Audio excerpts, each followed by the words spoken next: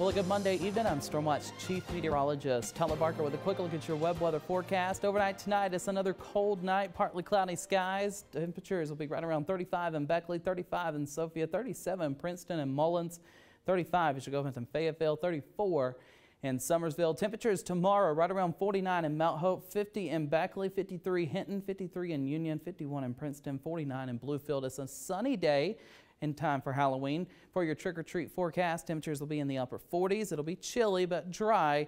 Rain showers return on Wednesday. They're very light and isolated. Most of the day will be cloudy. Another mostly cloudy day on Thursday, but notice the temperatures moderate back into the low and even mid 60s. Rain chances return Friday through Sunday, and then some dry weather in mid 60s return by Monday of next week. I'm Stormwatch Chief Meteorologist Tyler Barker with your web weather forecast. Have a great evening, everyone.